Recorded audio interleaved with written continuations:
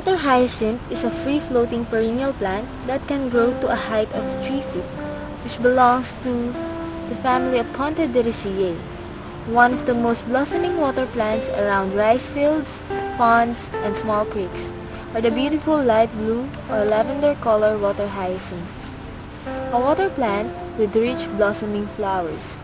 Who could say that by this innocent beautiful looking plant, it is the most destructive aquatic plant in the whole world. How did it become destructive?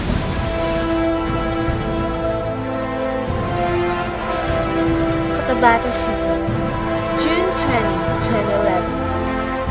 A massive flooding occurred in central Mindanao. The cause? Overpopulation of water hyacinths. It takes time, money, effort to remove. Pasig River. Water hyacinth becomes breeding ground for mosquitoes, causing the dreadful dengue fever for many. Laguna de Bay.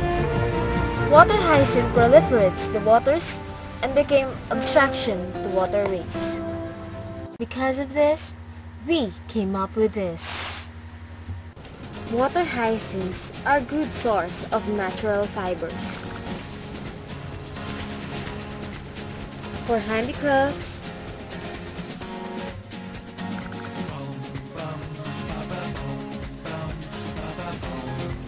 and furnitures.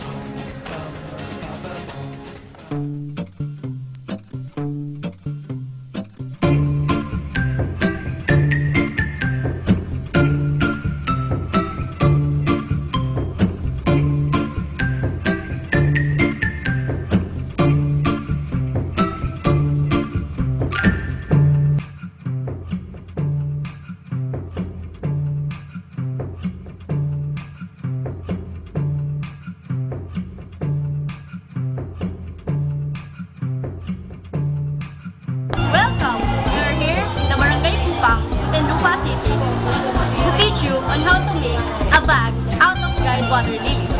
Are you ready? Let's begin! The first step in making the bag out of dried water lilies is of course to harvest the fresh water lilies from the bay. The second step is to dry the freshwater lilies in the sun for 2 to 4 days if there is too much sunlight, we should dry the freshwater lilies for only two days. See, we have here a finished product of a dried water lily. We're now here in the third step. In the third step, we call this the pressing. Using the presser, we will flatten the dried water lilies in order to attain a good quality material for our next procedure.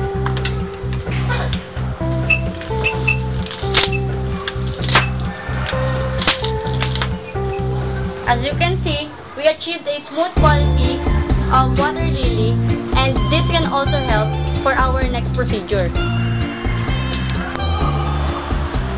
The fourth step is cutting.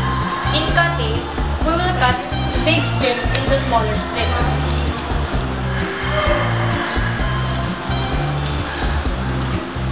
In order for us to achieve a, a small strips like this, this will be as step is the weaving procedure. In the weaving procedure, first, we have put a uh, scotch tape in order to stabilize and prevent the strips in scattering.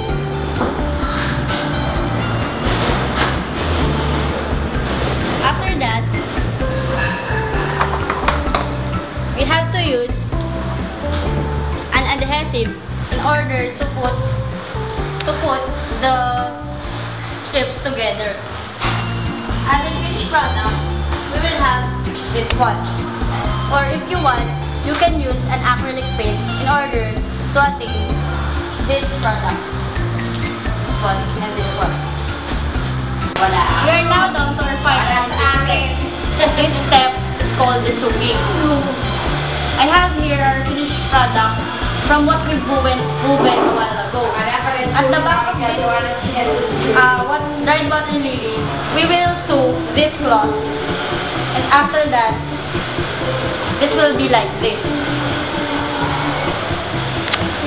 As you can see, we have sewed the edges and the sides. We can also weave the handle like this, like this one.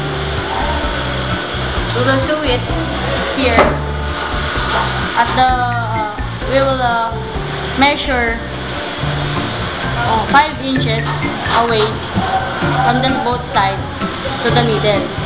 Then, we can make use of this patches in order to cover the both sides of the edges of the handle. The next video will show you how to do it.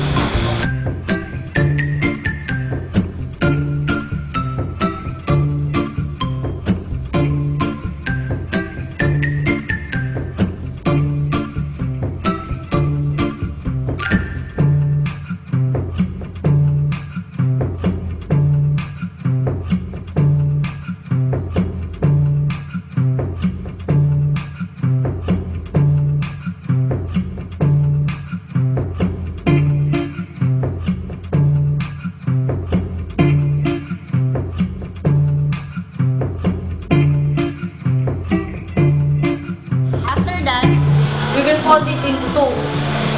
And then, we will sew both sides, the left and the right side.